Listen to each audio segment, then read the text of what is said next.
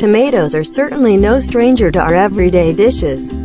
This one ingredient is usually presented to give a fresh taste to the cuisine. Tomatoes are also often eaten as a dessert after eating. But you know, if it turns out that tomatoes that have been boiled have higher nutrition than raw tomatoes.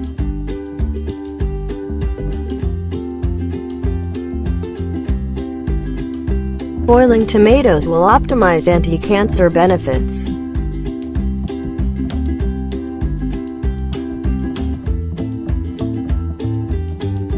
In fact, boiling tomatoes can optimize the anti-cancer benefits, because lycopene and phytonutrients in tomatoes will work more optimally after heating. Both are antioxidants that have long been believed to ward off cancer from the body. But this only applies to red tomatoes, because lycopene is a substance that only has red fruits or vegetables. This substance has the main function to neutralize free radicals that can damage cells in the body.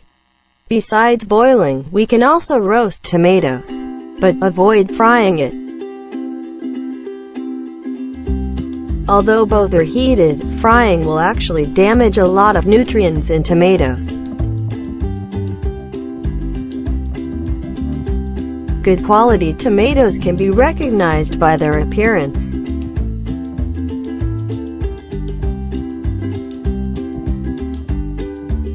Optimal nutrition must begin with good quality tomatoes. So, when going to choose tomatoes in the market, the first value of how it looks. Whatever type of tomato, always choose the soft ones. Soft tomatoes show symptoms of tomatoes have been damaged.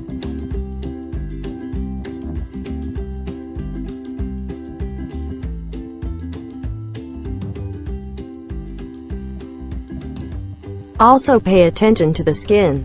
Tomato skin must be smooth, not wrinkled. Wrinkled tomatoes indicate tomatoes are not fresh.